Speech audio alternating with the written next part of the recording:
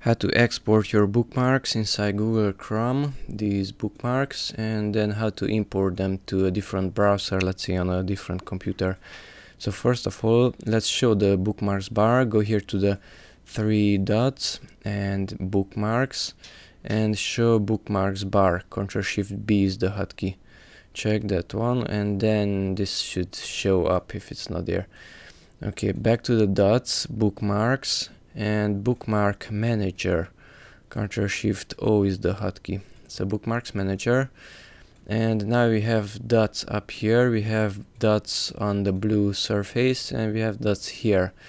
Go here to the blue dots, blue surface.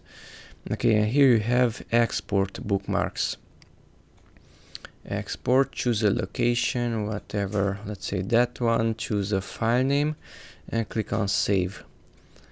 Okay, we can check that one. So on the F partition here, here we have the bookmarks of Google Chrome. Okay, now let's delete these manually. Right click on one and delete.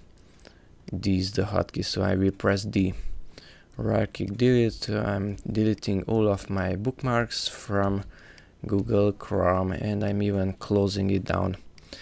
Okay, open it once again, nothing is there, so let's import it from that file. Go to the three dots, bookmarks and bookmark manager.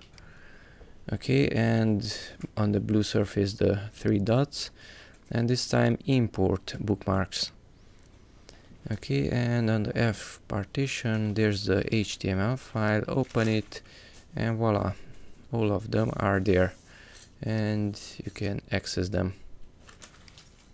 Okay so that's how to export your bookmarks and then import them into a different browser. By the way this is here at help about Google Chrome. This is Chrome version 80